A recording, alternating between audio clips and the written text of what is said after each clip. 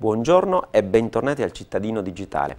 Cari amici, vi ricordate qualche decennio fa, quando ognuno di noi era di fronte a un monitor a fosfori verdi o arancioni, collegati al proprio computer Commodore o alla console Nintendo, in attesa di giocare al proprio videogame preferito? Quanta nostalgia per quegli schermi che si illuminavano come se non ci fosse più il segnale in attese che duravano decine di minuti per il caricamento di un solo livello del gioco, ricco di grafiche alquanto spartane, assolutamente lontane e non paragonabili alle grafiche dei videogiochi moderni. Quanti bei momenti insieme ai nostri amici. Qualche giovane potrebbe dirci che oramai siamo troppo vecchi, o meglio vintage, eppure quell'antico modo di videogiocare oggi più che mai sta tornando in voga, ovviamente tra i più grandi. Questa nuova filosofia prende il nome di retro gaming, un neologismo inglese che indica la passione per i videogiochi del passato sviluppati anche 35-40 anni fa. Tanto per fare un esempio possiamo ricordare i famosissimi Pong, Pac-Man o Space Invaders, che sul finire degli anni 70 si potevano giocare infilando una moneta in uno dei grossi cabinati presenti nella maggior parte dei bar oppure i successivi Super Mario, Zelda, fruibili dalle prime console di casa, fino ad arrivare a giochi quali The Last Ninja, Turrican o Street Fighter per Commodore 64, giochi che hanno segnato la gioventù di ognuno di noi. Tutti sono concordi nell'affermare che si tratta di veri capolavori, giochi storici capaci ancora di attrarre la nostra attenzione, vere e proprie meraviglie della programmazione. Ma com'è possibile giocare ancora con essi?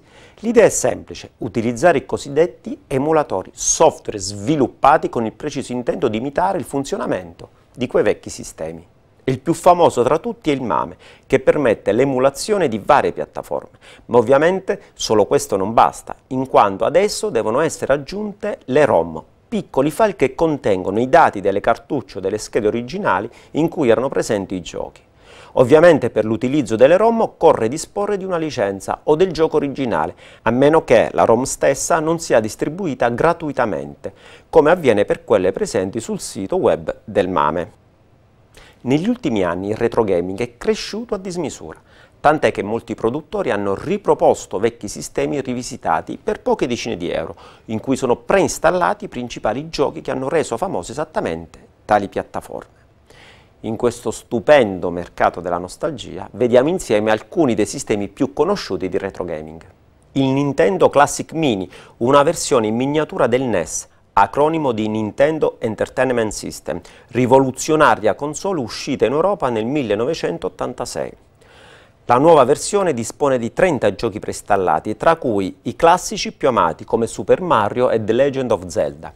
Da poco sul mercato anche la versione mini del Super NES il C64 Mini, una versione moderna che omaggia una delle macchine da gioco più amate di tutti i tempi, il famoso Commodore 64, uscito, se vi ricordate, nel 1982.